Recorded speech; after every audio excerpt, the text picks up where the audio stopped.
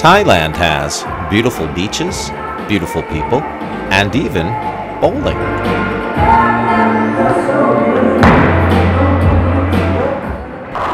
But the demons of opium are powerful here.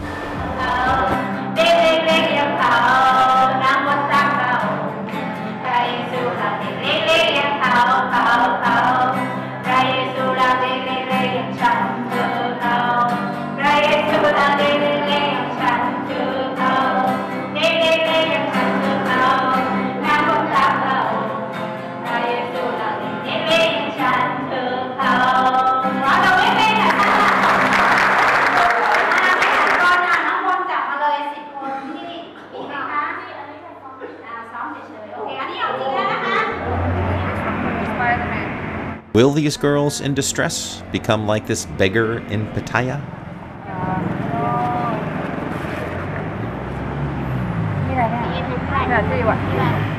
Or will they instead become Thai nurses like these Thai nursing students are about to become?